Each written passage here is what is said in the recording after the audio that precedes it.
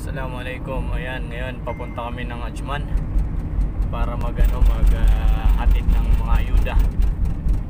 Inshallah, andyan sa harapan si Brother Muhammad tsaka si Abdullah magkapatid na sagom eh. Kasama namin sa pagdi-deliver. Kasi bukas ay ano na, Eid. So kailangan madala namin to sa mga kapatiran nating kamusliman dyan. Dito sa Sharjah. Ngayon unahin namin sa Ajman. Eid al-Adha bukas insyaAllah. Mika